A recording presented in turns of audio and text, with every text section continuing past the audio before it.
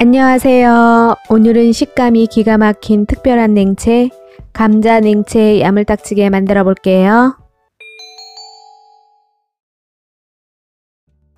감자 중간 크기로 한 개 반 150g은 적당히 얇은 채로 곱게 썰어줍니다. 채가 굵지 않아야 겨자 소스에 흠뻑 젖어 아삭하면서 양념과 겉돌지 않아 맛있습니다. 곱게 썰은 감자채는 다른 재료를 준비하는 동안 찬물에 담궈 전분기를 빼내도록 합니다. 이어 냉채에 들어갈 채소 양파 2분의 1개 80g은 얇게 채 썰기, 아삭한 오이고추 2개는 씨를 발라낸 후 채 썰기, 알록달록한 노랑 파프리카, 빨강 파프리카 역시 채 썰기입니다. 이때 채소는 신선하면서 상큼한 것으로 취향에 맞게 선택해도 좋습니다. 오색 찬란하게 예쁘게 썰어놓은 채소는 양파는 매운맛을 빼주고 각각의 채소는 더욱 파릇하면서 색감이 살도록 식초 희석한 물에 잠시 담궈 두도록 합니다. 뜨거운 여름에 딱 좋은 코끝증하면서 새콤달콤한 겨자 소스를 만들어 줍니다.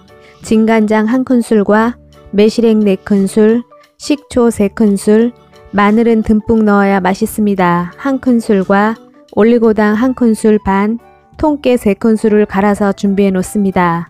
마늘과 갈아준 통깨가 듬뿍 들어가야 맛있습니다. 이어 후추 약간과 겨자의 양은 취향에 맞게 넣습니다. 겨자 수북히 2티스푼을 넣은 후 겨자가 잘 풀어지도록 저어주고 소스를 완성합니다. 전분 씻어낸 감자채는 물에 한 번 헹구어 체에 받쳐두고 식초물에 담궈두었던 채소 역시 물에 한 번 헹구어 체에 받쳐둡니다. 감자 냉채는 어떤 맛일까 기대하면서 물기 빠진 감자채와 채소를 볼에 담고 알록달록한 색감을 눈으로 한번 확인한 후 만들어 놓은 겨자 소스를 부어주고 갈아 놓은 통깨를 뿌려줍니다. 이어 설렁설렁 묻혀주면서 얼른 한 입 먹어봅니다. 톡 쏘고 새콤하고 달콤하고 오이의 아삭함은 저리 가라입니다. 마지막으로 감자라서 왠지 신선하고 냉장고에 두었다 차게 해서 먹으면 정말 맛있는 감자 냉채 완성입니다. 가시기 전 구독, 좋아요 눌러주시고 시청해 주셔서 감사합니다.